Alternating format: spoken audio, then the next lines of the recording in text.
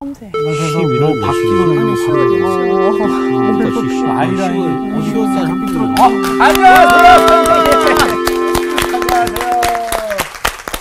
안녕하세요. 예, 안녕하십니까. 네, 안녕하십니까. 안녕하십니까. 안녕하세요. 네. 반갑습니다. 네. 잘 지내셨어요? 예. 어, 오늘 정기 학생 또 왔네. 예. 아니 지난주 듣고 너무 감동받아 은혜 받아가지고 이번 주 복습을 꼭 하고 와. 싶어요. 그런 거 좀 살좀 붙이지 마요 좀. 아 근데 해야 돼. 예, 들었습니다. 익히 들었습니다. 네. 오늘 복습 되겠어요? 아, 그 지난주에 배웠던 게 네. 한번 해보세요. 어, 손에 땀이 나는데. 부자와 권 어, 그 뭐, 그 제가 항상 이렇게 복습하는 거 보니까 너무 길게 하더라고요. 그래서 어. 짧게. 예. 그 부자와 거지 나사로에 대한 이야기였는데, 네. 부자가 그냥 돈 많고 뭐 이런 그냥 부자의 대표성이 아니라 바리새인을 지칭했던 어, 이야기로 맞아요. 어 15장부터 17장의 그 이야기들이 다 한 단락으로 이어져 있는데 어. 그 대사 아 리액션 잘해주니까 좋다. 예. 어 근데 거기에서 이제 바리새인들에게 했던 이야기로 어 그 부자를 대표했고 거지 나사로라고 쓰여 있었지만 사실 그 거지는 지금 어 사회적인 약자. 아, 그렇죠. 약자. 약자이고 또 우리의 모습을 담고 있는 예수님의 이야기였다는 거. 네. 예, 여기까지 하겠습니다. 그래서 어떤 그래서? 어떤 걸 느꼈어요? 어. 아, 느낀 것까지 이야기해야 그럼요, 돼요? 아, 아, 사실 그 이야기. 사회 적용까지 해야 돼. 생활 적용까지. 아, 진짜 해요? 네. 아, 저는 진짜 제, 인, 제 삶에서 가장 중요한 게 하나님 사랑, 이웃 사랑이거든요.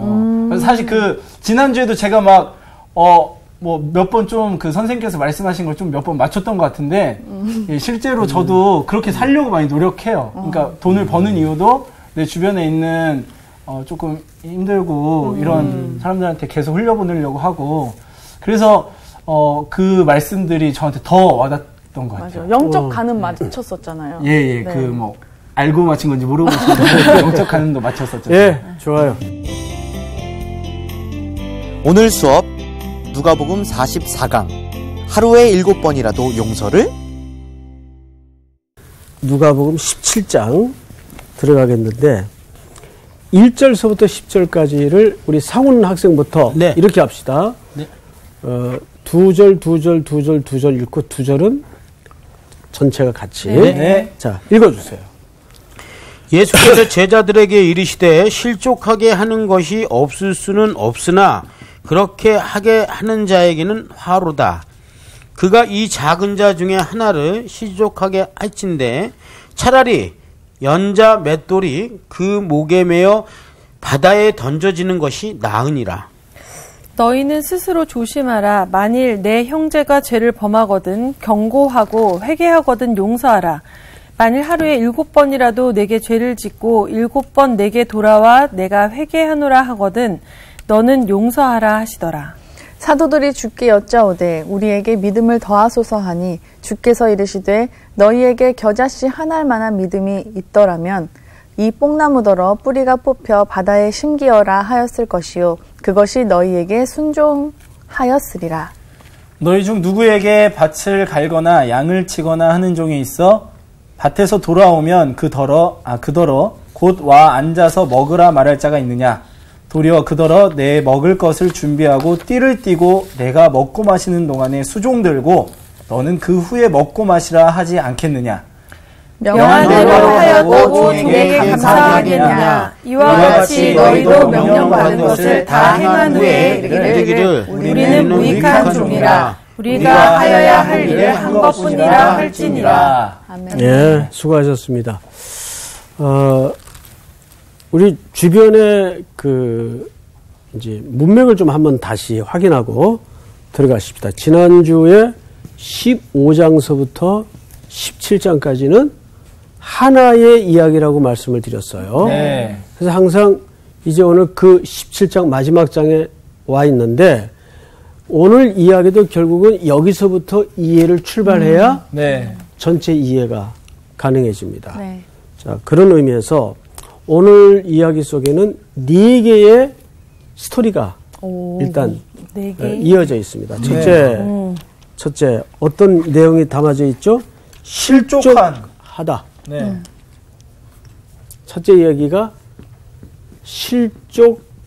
한 자, 네. 또 실족 한 자가 있으면 어떤 자가 있겠죠? 실족하게 실족 한 자. 치킨자. 네.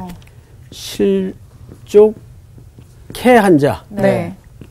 있단 말이에요. 네. 예, 두 번째는요. 두 번째는 무슨 얘기가 나와 있죠? 일곱 번이라도 내게 죄를 짓고 일곱 번 내게 돌아와. 음. 용서하라. 예, 예, 예. 용서. 세 번째는요. 세 세 번째. 어, 번째는 겨자씨 겨자씨만한 믿음이 믿음. 믿음. 믿음 믿음에 되세요. 관한 주제가 나오죠. 네. 네. 네 번째는요. 네 번째는요.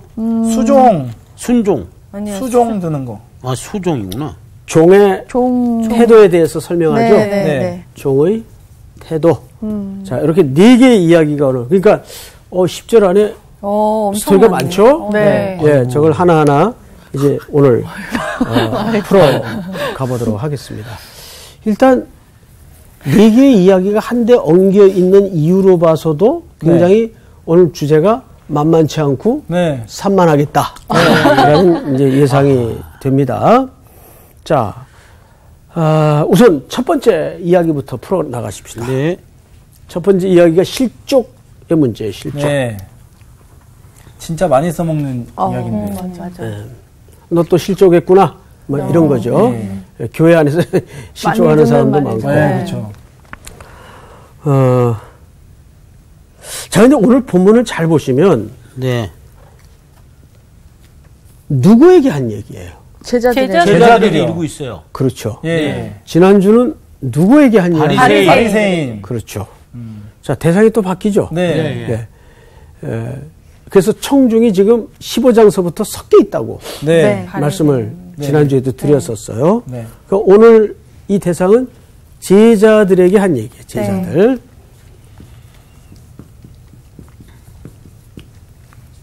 자, 읽어보십시다. 네. 제자들에게 이르시되 실족하게 하는 것이 없을 수는 없으나 이게 무슨 얘기예요, 정확히? 실족할 수, 실족하게 할 수밖에 없다. 그러니까 실족할 그렇죠. 수도 있다. 네. 할 수도 누구에게나 있다가 할 아니고 수- 실족이 실족이 누구나 실족하게 네. 하는 어. 일이 누구나 생긴다. 어. 이런 상황에 놓여져 있을 네. 수 있다 그 말이에요. 네. 그렇잖아요. 네. 이 사람이 참 유한해서 네. 나는 절대 그런 의도로 말한 게 아닌데. 네. 정말 아니야. 네. 표정 보면 모르겠어요. 어, 그런데 진짜 아니에요. 상대방은 전혀 다른 얘기로 알아들었어요. 맞아. 그러니까. 그럴 때 이제 억울해. 그럴 때 어떡하죠? 환장하는 거죠. 그렇죠. 예, 예. 미치는 거죠. 맞습니다. 뭐 속을 까 뒤집어 보일 맞아. 수도 없는 거고. 음. 아, 그게 아니야. 맞아, 맞아. 그래도 아니라는 거예요. 어. 예. 일단 네. 미안하다고 해야죠. 그럴 때는 그럴 수밖에 미안하면 없어. 다야? 네. 이렇게 얘기하지. 아유 미안해. 음. 네가 그렇게 들렸다니까 뭐 맞아, 맞아. 어떡하겠냐. 그 미안해. 그 이게 최고예요, 사실. 네. 예. 그게 아니라니까. 이건 이제 싸움, 싸움밖에 안 싸움. 되는. 거죠. 그러니까 실족지 않게 하는 일은 불가능해요. 네. 음. 우리가 살아가면서. 네. 어, 내가 아무리 정규에게 바른 좋은 의도를 가지고 얘기해도 예. 저 정규 상태가 예. 음. 삐딱한 상태면 예. 아, 네, 맞아. 잘못 알아들을 수 네. 있어요. 그렇죠. 아이고. 기분 나쁘게 알아들어요. 예. 저도 그 실수를 또 해요. 어. 저도 예. 전혀 상대방 그런 의도로 얘기한 게 아닌데 맞아. 어, 뭐야? 왜? 예 그렇게 또 맞아요, 오해를. 할 수 있단 예. 말이에요. 자 그래서 어, 실족하게 하는 것이 없을 수는 없으나 음. 그렇게 하는 자에게는 뭐예요? 화로다. 화로다. 아, 이게 무섭다. 그렇게 하게. 하는. 무조건 실족하게 하면 안 되는 거죠. 조심해야 돼, 진짜. 아니 그. 말 한마디라도 하게 하려고 한 게 아니라. 그러니까 저 그 사람의 실족하게 되면 확인하고. 하는 거죠. 다들 경험이 많구나. 쉽지 않아. 참, 어?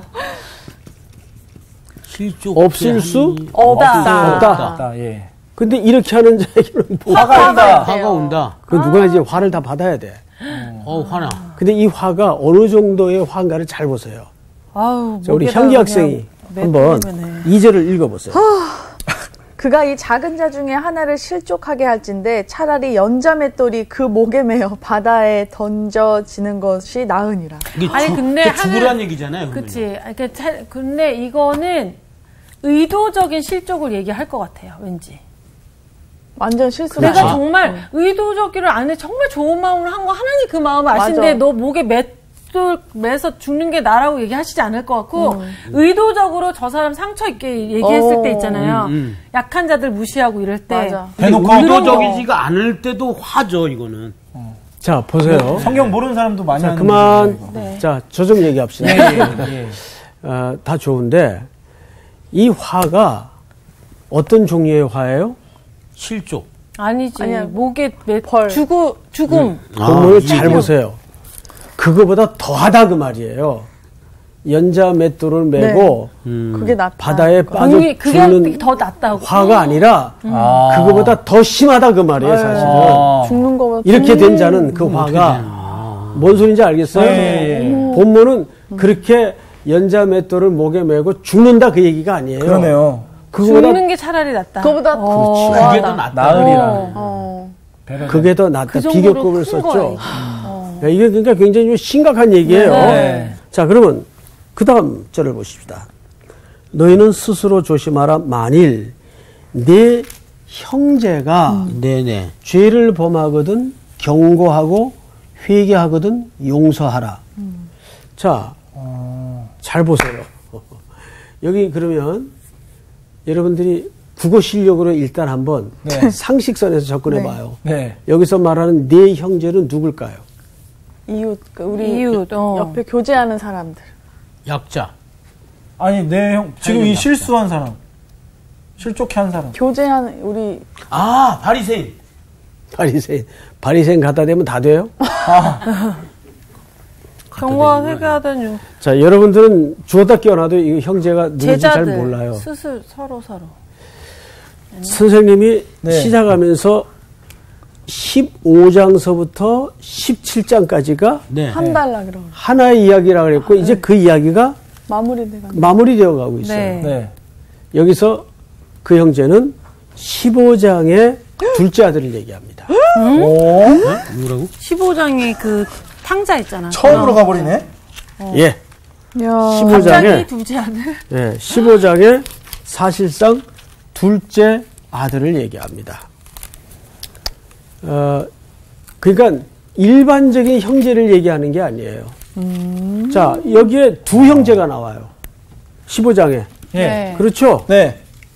그런데 사실은 둘째 아들이 문제죠. 네. 예. 어쨌든 나갔다가 우여곡절 끝에 채- 회개하고 돌아온. 아버지께로 돌아왔는데 네. 네네네. 이 둘째 아들을 용납 못한 아들은 누구예요? 큰 첫째 아들. 큰 아들. 큰 아들이에요. 네. 무슨 일인지 알겠어요? 네. 자, 그러면 그 얘기를 하는 거예요. 자, 오늘 17절, 3절을 잘 보세요. 스- 너희는 스스로 조심하라. 만일 내 형제가 죄를 범하거든. 여기 형제는, 죄범한 형제는 누구예요? 탕자. 탕자를 얘기하는 네, 거예요. 둘째. 네. 범하거든, 경고하고, 회개하거든, 어떡하라? 용서하라. 용서하라. 근데 용서하지 못한 자가 누구예요? 첫째 큰 아들. 아들. 첫째 아들이에요. 예. 형님. 만일 하루에 일곱 번이라도 네게 죄를 짓고 일곱 번 네게 돌아와 내가 회개하노라 하거든 너는 어떡하라 하시더라 용서해라. 용서하라 하시더라 자 여러분 그러면 이 두 형제 중에 첫째는 집안의 탕자예요 음.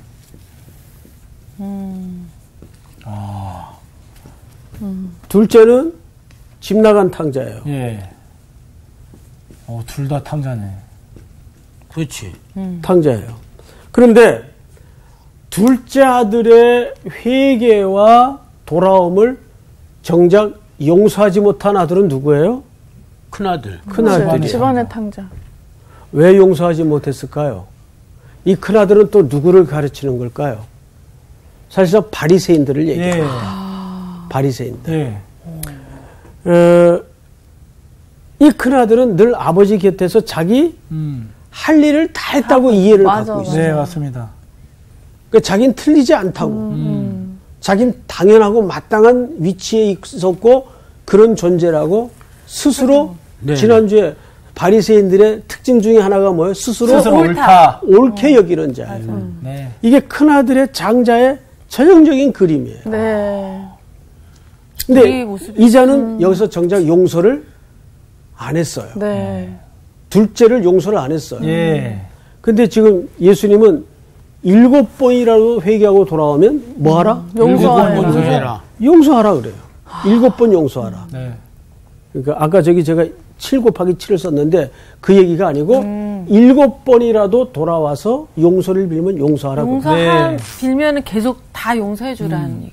왜 그럴까요? 자, 예를 들어서 이런 겁니다. 조수희 학생이 네. 일곱 번 용서를 빌었어요. 네. 근데 사실 용서를 해줘야 될 나는 이게 진짠지 가짠지 알 수 있어요, 없어요? 없어요. 없어요. 알 수 없지. 예. 가짜로 용서를 빌 수도 있잖아요. 있어요. 당연히. 있죠. 어. 그런데 예수님은 그 상황을 전혀 감안 안 하고 모르셨을까요? 아셨어요. 아시죠? 당연히 아시죠. 그런데도 뭐 하란 얘기예요? 용서하라. 용서하란 얘기예요. 그러니까 그 용서를 사실상 누구에게 맡기란 얘기입니까? 하나님. 하나님께 맡겨라. 하나님께 맡기란 얘기예요. 아, 맞아, 맞아. 내가 용서하고 말 것은 사실 근본적인 이해와 용서로는 불가능하다는 얘기예요. 맞아요. 이 말은. 음. 자, 그런데 조금 더 들어가 보십시다. 이 얘기가 좀 쉽지 않은 게 네. 아, 쉽지 않아. 5절 보세요, 5절. 사도들이 주께 여짜오되 우리에게 뭐를 더하소서 하니? 믿음을 믿음을 더하소서. 더하소서. 용서의 주제가 나왔는데 뒤에 무슨 주제가 등장을 해요? 믿음. 세 번째 주제인 믿음을. 등- 근데 누가 얘기했어요? 사도들이. 사도들. 이 속에는 사도들만 있었던 게 아니고 제자들도 있었어요. 네. 네. 그리고 제자들과 사도는 다를 수 있습니다. 예. 사도는 제자지만 또 이 사도의 그룹에 들지 않는 제자들이 있을 네. 네. 수 있죠. 네. 당연히 있죠. 자, 사도들이 뭐 이름은 이해가 돼. 음. 우리에게 사랑을 더하소서. 그렇죠, 그렇죠. 용서의 주제니까. 네. 근데 왜 믿음. 믿음을 더하소서라고 얘기를 했을까요? 나에게 믿음을 주셔야 내가 용서하자라고 물어본 것 같은. 내가 맞죠? 아니지, 그러니까. 자, 그냥, 그냥 우리 답을 들읍시다. 답정너요, 답정너. 예, 예, 예. 어, 이게 조금 이렇게 너무 함의된 내용이라 네. 여러분들이 이해하기 어려워요. 쉽지 않습니다. 어. 방금 이런 얘기를 말씀을 드렸어요. 용서의 주체는 결국 내가 될 수 없다. 맞아요. 내 안에 그럴 만한 여지가 없어요. 네. 사실은. 예? 내가 속구도 용서할 만큼 세질 않기 맞- 때문에. 맞아. 자, 그래서 사랑을 더해달라고 요구를 한 게 아니라 사도들이 믿음을. 믿음을 더해달라고 요구했어요. 그 여기서 말하는 믿음은 무슨 뜻인가 하면 에베소서 2장 8, 9절에 믿음은 하나님께로부터 난 선물이요. 네. 이는 아무 육체도 자랑하지 못하게 하려 함이라. 그러니까 무슨 얘기냐면 이 용서라는 것 자체가 믿음이 있어야 된다. 근데 그 믿음은 누가 주시는 믿음이에요? 하나님이 하나님. 주시는 거. 하나님이 주시는 믿음이에요. 그러니까 용서도 나의 어떤 너그러움과 성품으로 할 수 있는 문제가 아니에요. 아니다. 아니에요. 아니란 뜻이에요. 네. 맞아, 맞아. 안 돼. 여러분 이제 교회에서 자주 쓰는 표현 중에 하나가 리더십이라는 말을 자주 네. 써요. 저는 아주 그 말을 좀 싫어하는 편인데 저도 씁니다. 왜냐하면 예. 아주 리더십 있어. 아, 리더십의 기초는 인격과 성품에서 나와서는 안 돼요. 그럴 수도 없어요. 예. 리더십의 기초는 믿음이에요. 음, 어느 어느 교회에서 예. 이제 목사님 한 분이 이제 좀 큰 교회인데 한 분이 정말 있을 수 없는 실수를 벌, 벌렸어요. 네. 그 담임 목사님이 그분을 1년 정직을 시켰어요. 웬만한 교회 같으면 그냥 부목사님이니까 그냥 파이어 어. 하면 끝나요. 예, 예. 네네네. 예? 그러니까 헌법에는 이 목사님들이 1년직이거든요. 네. 1년마다 이 갱신을 하도록 돼 있어요. 근데 1년 휴직을 시켰어요. 그러고 나서 1년 후에 다시 해라. 복직을 해서 이제 다른 사명을 맡기셨어요. 네. 그때 복직시킬 때 많은 분들이 반대를 했어요. 어떻게 그렇게 엄청난 잘못을 한 교역자들을 네. 다시 불러. 다시 쓸 수가 있냐. 이건 좀 너무 무리인 것 같다. 그 저도 참 그게 궁금했어요. 그 내용을 저도 잘 알고 있었던 내용이기 때문에. 그래서 한 번은 그 목사님하고 담임 목사님하고 사석에서 식사하는 자리가 우연히 생겼어요. 그게 제일 궁금해서 그때 그 결정을 여쭤봤어요. 네. 목사님 왜 그렇게 결정하셨어요? 근데 제가 아주 큰 교훈을 하나 얻었어요. 그분이 이제 좀 이렇게 경상도 분이라 말이 직선적이에요. 음. 말을 이렇게 애둘러 하는 스타일이 아니에요. 네. 이제 아들들 같으니까 네. 이렇게 얘기하시더라고요. 야, 내가 겔 믿냐? 하나님 믿지? 어. 그 제가 그때 뭐뽕한 대 얻어맞은 것 같은 느낌. 아, 이분의 리더십이 인격에서 나오는 게 아니고 믿음에서 나오는구나. 뭔 소리인지 알겠어요? 그러기 쉽지 않은데 진짜. 쉽지 않죠. 와. 그러니까 야 내가 겔 믿냐? 하나님 믿지? 그게 리더십이에요. 와. 그러니까 리더십은 인격과 덕성과 성품에서 나오는 게 아니에요. 특별히 기독교의 리더십은 교회 리더십은 믿음에서 나와야 돼요. 그게 진짜예요. 중요합니다. 네. 그래서 그때부터 저도 이제 많은 목사님들과 지금까지 동역을 해오지만 사람에 대한 이해를 그 기준이 굉장히 작용을 합니다. 어. 그때 그 한마디가. 네. 그러니까 여기 사도들이 우리에게 믿음을 더하소서라는 말이 넌 너무 이해가 되는 거야. 그렇구나. 이게 우리의 인격과 우리의 무슨 너그러운 성품으로 용서를 할 수 있는 문제도 안 되고 네. 우리 안에 그런 선한 게 일단 없어요. 그렇죠. 솔직히 얘기해봐요. 있어요? 없어요, 없어요. 그런 선한 게 없어요. 누굴 용서? 용서하는 척도 안 돼요, 어떨 땐. 안 되죠. 어, 정직하다 이 누나. 꼴도 보기 싫은데 어떤 때는 이런 말을 해도 되나 모르겠는데 아하, 이거, 이거. 예. 네네. 그런데 아 그래서 믿음이 필요하구나. 맞아요, 진짜. 믿음을 더하소서. 그래요. 중요하다. 자 성경을 또 보십시다. 네. 6절 우리 저기 향기 학생이 한번 읽어보세요. 주께서 이르시되 너희에게 겨자씨 한 알만한 믿음이 있더라 있었더라면 이 뽕나무더러 뿌리가 뽑혀 바다에 심기어라 하였을 것이요 그것이 너희에게 순종하였으리라. 자 향기 학생 네. 어, 믿음을 얘기하니까 네. 예수님이 또 뜻모르는 말씀을 꺼내놓으세요. 네. 자, 예수님 너무 어려워. 자 이럴 좀 때마다 쉽게 설명하셨으면. 그러니까. 어, 읽는 이 미련한 우리 입장에선 돌아버리겠어요. 참 쉽지 않은 분이에요. 무슨 뜻일까? 네. 그래도 우리가 성령님께 이렇게 한번 이 의미를 좀 여쭤보자고요. 우리 상훈 학생, 이게 무슨 뜻일 것 같아요? 왜 미- 사도들이 믿음을 더해달라고 얘기했는데 네네네. 왜 갑자기 겨자씨는 뭐고 또 뽕나무. 뽕나무. 뽕나무는 왜 나와요? 음. 자, 잘 생각하세요. 네. 겨자 씨라는 것은 생명을 강조하는 겁니다. 어. 그러니까 이건 큰 씨냐 작은 씨냐의 크기의 아니고. 문제가 아니고 네. 작은 씨라도 뭐가 있으면 생명이 있다. 그렇죠. 생명이 있지, 씨. 그 믿음이 생명 있는 믿음이라면 그 뜻이에요. 하나님. 그러니까 예수님께서 그래서 가정법을 썼는데 뭐라고 돼 있어요? 믿음이 있었다면. 있었더라면 이라는 말은 어떤 뭐 어떤 척하고 있었다는 얘기예요. 생명이 있는, 있는 척 했다. 그렇지. 와, 이거 진짜. 생명이 있는 척 하고 있었다는 얘기예요. 생명이 있는 믿음을 가지고 있는 저 누가 제자들, 사도들이. 사도들이. 사도들. 그게 아니라 사람들이. 보편적인 상황에서 예. 자 여러분 여길 잠깐 접어두시고 어, 요한복음 15장을 좀 넘겨 보세요.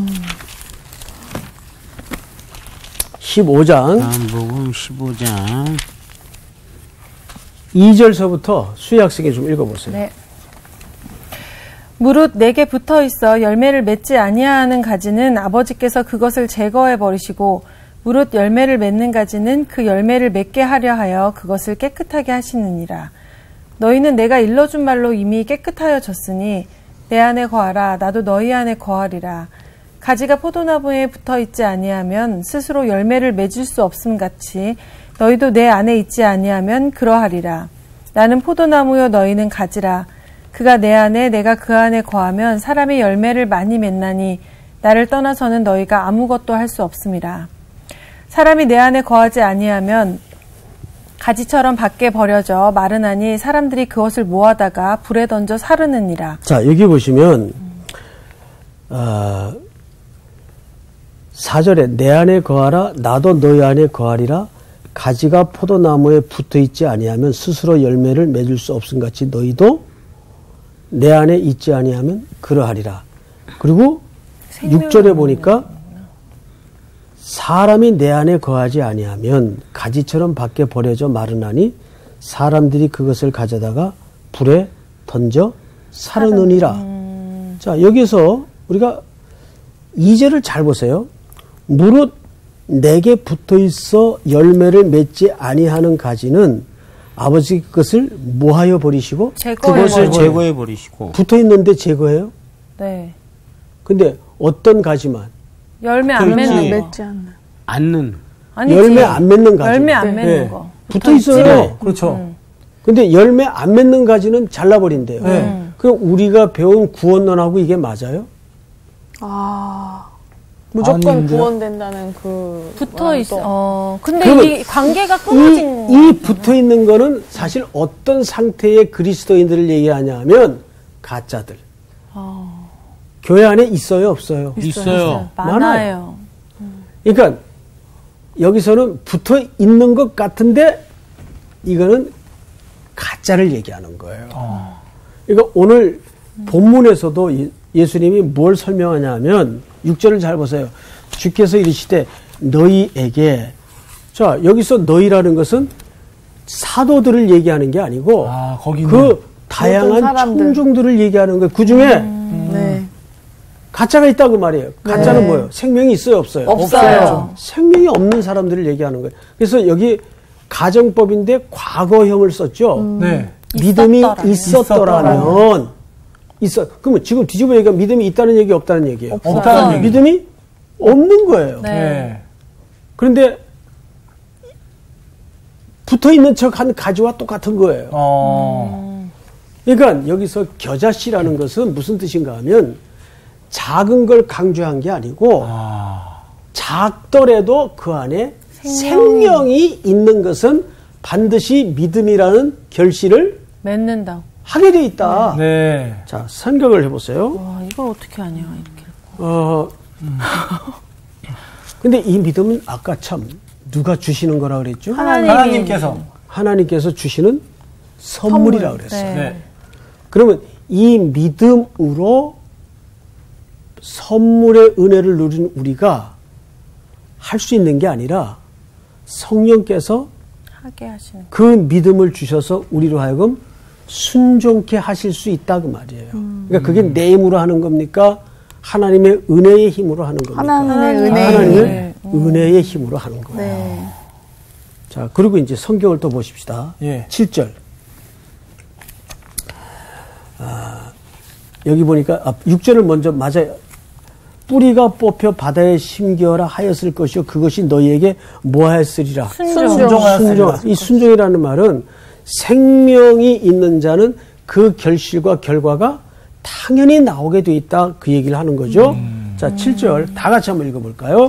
시작. 너희 중 누구에게 밭을 갈거나 양을 치거나 하는 종이 있어 밭에서 돌아오면 그더러 곧 와 앉아서 먹으라 말할 자가 있느냐? 도리어 그더러 내 먹을 것을 준비하고 띠를 띠고 내가 먹고 마시는 동안에 수종 들고 너는 그 후 먹고 마시라 하지 않겠느냐. 구절 시작. 명한 대로 하였다고 종에게 감사하겠느냐. 이와 같이 너희도 명령받은 것을 다 행한 후에 이러기를 우리는 무슨 종이라? 무익한 무익한 종. 종이다. 여러분 이 무익한 종이라는 말은 아, 이게 좀 어려운 개념인데, 그래도 설명을 한번 해보십시다. 네. 무익하다. 무익한 이 종. 자, 무익한 종을 어떤 종을 무익한 종이라고 설명하는 거예요. 보면 보지 말고 무익한 종은 도움 안 되는 종 아닙니까? 도움이 안 되는 종. 예. 그러니까 손해 손해 보는 종, 손해 끼치는 종. 그, 그래서 우리가 예. 이 무익하다는 개념 때문에 예. 내게 손해가 되고 이익이 되는 이런 상대 개념으로 예. 무익을 이해해요. 맞아요. 이게 그 개념이 아니다 그 말이에요. 그 개념이 아니에요. 오. 어, 여기서 아니에요? 무익하다라는 수식어를 쓸 때는 네. 예. 이 종은 그냥 물건이다 그 말이에요. 물건이다. 그렇죠. 어. 중립적 개념이란 말이에요. 알겠어요?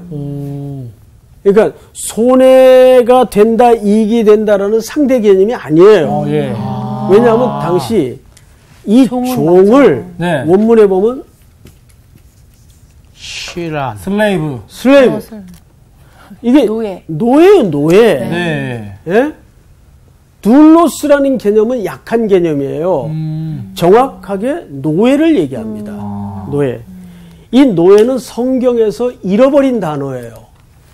자꾸 이 노예를 둘로스로 번역을 하는 어, 관례를 남겼는데 네. 원칙은 슬레이브입니다. 노예를 얘기하는 거예요. 노예는 뭐예요? 무익한 거예요, 그냥. 음. 그치 물건으로 취급. 중립적인 존재예요. 이익이 되고 손해가 된다는 그런 상대 개념이 아니란 말이에요. 네. 그러면 이 얘기를 왜 할까요? 여기서 왜 하는가를 한번 잘 유추해 보란 말이죠, 여러분들이.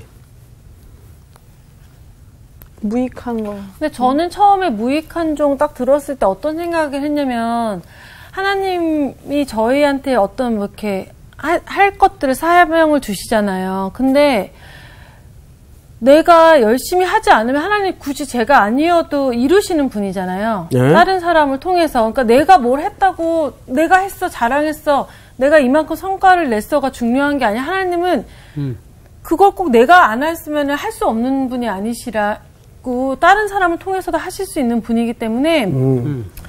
저는 진짜 무익한 거 내가 했다고 해서 그게 내가 한 게 아니고 내가 했다고 해서 하나님의 일을, 일이 이루어지지 않을 게 이루어진 게 아닌 것을 인정하는 게 무익한 종이 아닐까라는 생각을 했거든요. 아니, 그 개념이 당연히 있죠. 네네. 저, 저는 예.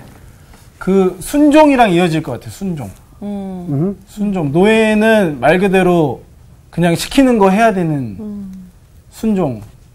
해야 되는. 순종. 또. 아니면 무익한 종은 아니, 좋아요. 아주 좋아요. 반대로 생각했을 때 그러니까 생명이 없는 종. 예. 다 조금 조금씩은 힌트를 담고 있어요. 그러니까 사실 여기서 어, 이 개념을 정확히 알고 들어가면 뭐 큰 어려움이 없을 것 같아요.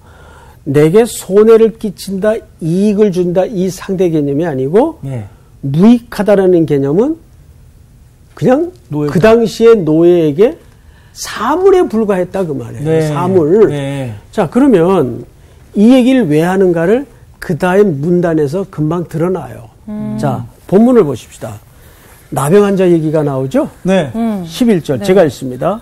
예수께서 예루살렘으로 가실 때 사마리아와 갈릴리 사이로 지나가시다가 한 마을에 들어가시니 나병 환자가 몇 명이? 열 명. 열열 명이. 명이 예수를 만나 멀리 서서 소리 높여 이르되 예수 선생님이여 우리를 불쌍히 여기소서 하거늘 자 14절 다 같이 시작 보시고 이르시되 가서 제사장들에게 너희 몸을 보이라 하셨더니 그들이 가다가 깨끗함을 받은지라. 자 잘 보세요 아. 그들은 네. 어떤 존재 그냥 그 당시 저주의 대상이에요 네. 네. 그리고 감히 이 공동체에 이렇게 나설 수 없는 네. 지금 육신의 나병이. 질병을 갖고 이게 나병이라는 건 영적인 병이란 말이에요. 네. 그래서 이 진단 여부는 의사에게 가는 게 아니라 제사장에 제사장한테. 가서 확인을 받도록 되어 있는데 네. 여기서 이 10명의 나환자들이 한 일이 딱 하나 있어요. 뭐죠? 순종했어요. 예수 아니 가라고 해서 이제 가, 그러니까 순종한 거지. 제사장한테 응. 가는 거지. 우리를 불쌍히 여기소서. 아. 오케이. 우리를 불쌍히 여기소서. 그리고 잘 보세요. 지금 우리 수희 학생이 말한 내용에 등장을 하죠.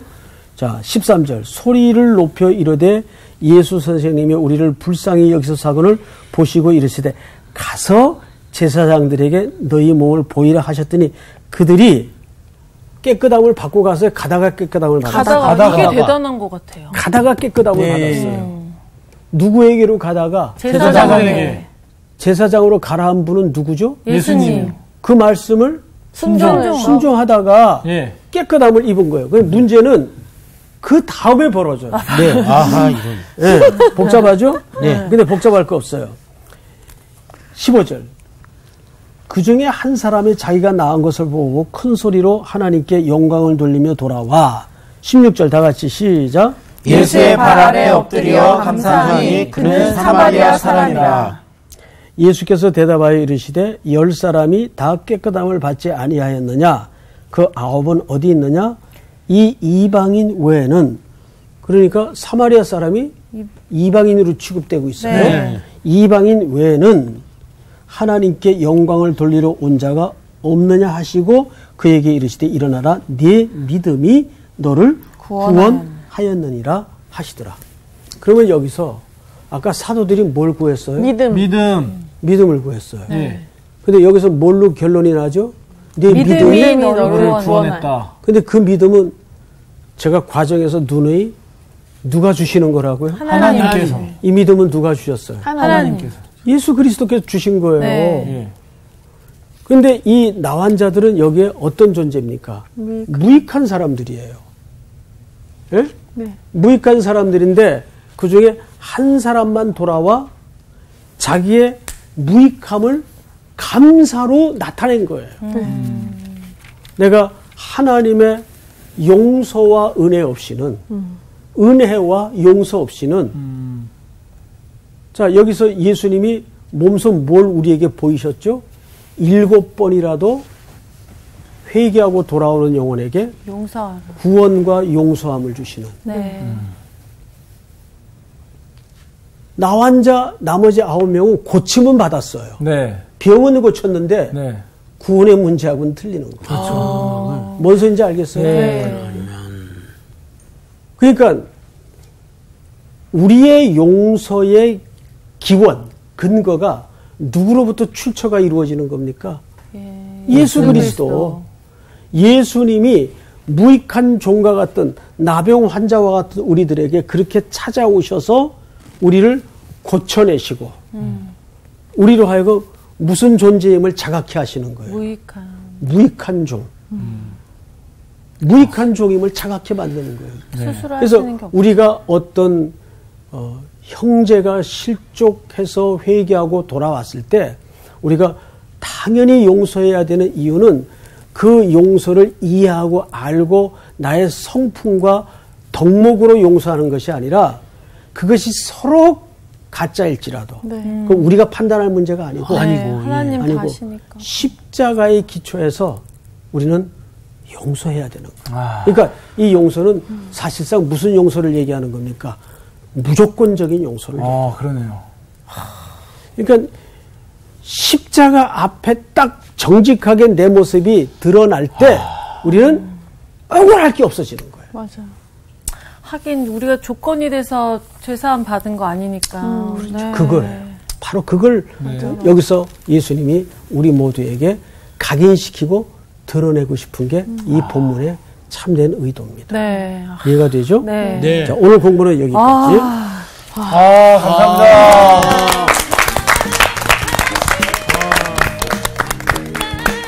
아, 기가 막히네. 오. 아, 아니, 이렇게 안 배우면 이 형제가 그 형제인지 누가 하냐고. 그러니까. 네, 이거는 진짜 성사학당 봐야죠. 정말, 진짜. 아, 진짜 사실 되게 쉬운 본문이라고 생각했어요. 어, 오늘. 맞아, 맞아. 그냥 되게 쉬운 본문이고 되게 많이 많이, 봤으니까. 거잖아요. 근데 야 여기에 진짜 야, 나 그리고 진짜, 막 와. 막연하게 그냥 아, 믿음이 더 있어야 용서를 할 수 있는 마음이 생기는 거구나 계속 이렇게만 생각했지. 그리고 우리가 또 믿음이라는 것도 막 진짜 교회에서 진짜 기도 열심히 하고 막 전도 열심히 하고 막뭐 열심히 하면 믿음 더 맞아, 맞아, 있는 맞아. 것처럼 생각하잖아요. 맞아. 아니 근데 그게 아니라 오직 하나님이 철저히 선물처럼 주시는 거지. 근데 너무 오늘 배우면서 나는 되게 두렵다 이런 게 뭐냐면은 우리가 예수님한테 붙어 있잖아 지금. 네, 근데 우리가 지금 마르고 있는지 열매가, 정말 이게 안 열매를. 맺고 있는지를 점검을 하지 않으면 맞아요. 이게 찍혀서 그냥 불살라 버린 존재. 될 수 있는 거야. 그러니까 우리가 진짜 정신 차려 깨어 있어서 예수한테 붙어 있는 게 중요한 게 아니라 붙어서 이 관계가 끊어지지 않게 잘 생명이 있는 믿음으로 붙어. 있어야 된다는 거지.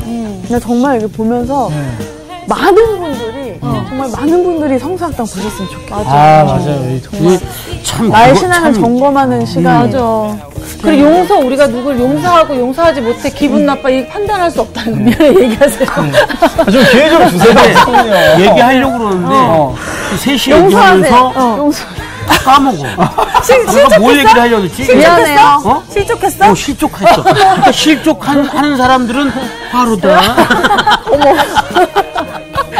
아니 그게 아니라 내가 보니까 이게 결국은 음, 믿음이든 사랑이든 내가 한다라는 생각은 버리고 하나님이 주시는 거니까.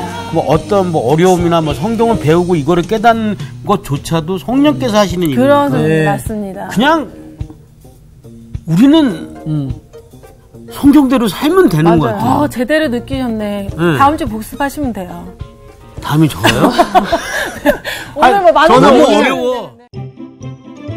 이번 주 퀴즈입니다. 하나님이 야곱에게 주신 새 이름은 무엇일까요?